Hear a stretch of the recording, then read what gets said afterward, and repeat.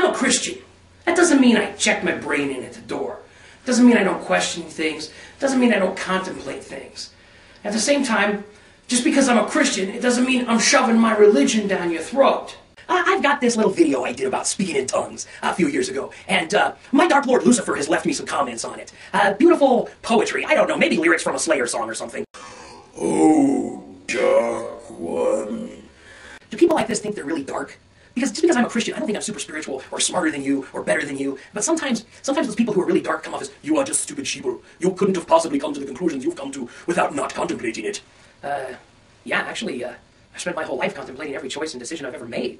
And uh, there's been times I've questioned my faith, and there's been times I've walked through really dark valleys, but uh, I've always come to the same conclusion. The idea that I want to propose is, if what we believe is wrong, who cares?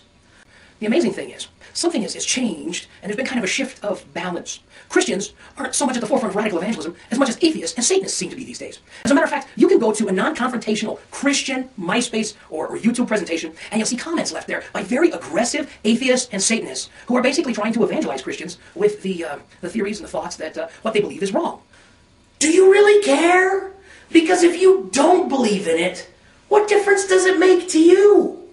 I'm interested in other religions. I'm interested in what people believe in, and I'm interested in what people really believe in. I'm not interested on a Christian's perspective on what a Satanist believes. Because a Christian cannot tell me what a Satanist believes, because they're not a Satanist, and they're going to buy every little piece of hype that they read into. So I'm not going to sit here and say, well, this is what Satanists believe. Did you know that? Because that's just retarded. I'm not going to sit here and tell you what every Christian believes, because Christians are all different. There are literally thousands of sects and groups, sects, S-E-C-T-S. There are literally thousands of sects and groups that, uh, that, that call themselves Christians, and they have beliefs that run the gamut from uh, from a literal seven day creation to progressive evolution to an eternal burning in hell to not believing in hell at all to eternal security that once you call on Christ and ask for salvation, that's it, you're done, you're forever His. To uh, if you eat too many cookies after you've asked Him to be your Savior, you're going to roast in hell if you don't repent and change your ways. I mean, there are so many different groups that you can't just say, okay, here's one group and uh, I totally isolate them and I, what's the difference between a, the kind of Satanist that goes and just basically lives for self and says, you know what, I'm not going to tie myself to some kind of religious ideology and confine myself to superstition. I'm going to lead an enjoyable life. There's a difference between that and a freak who runs around wearing black, sacrificing your neighbor's cat, scrolling stuff in blood, and calling themselves by some fake, creepy name. I am Isaiah. We could all get along better if instead of trying to shut down one another's differences, we would just listen to one another's differences.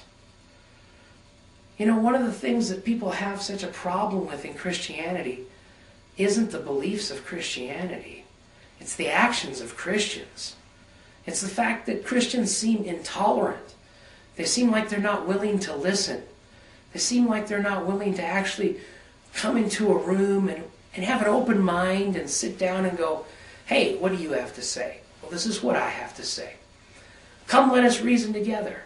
Can't we be that way? I don't think everybody has to be a Christian. I don't think everybody has to believe like I believe. The only thing I'm absolutely sure of is everyone should be fat. Other than that, you can pretty much do what you want. Just be fat. If you're not fat, you're going to hell. Only fat people can get into heaven. That's right.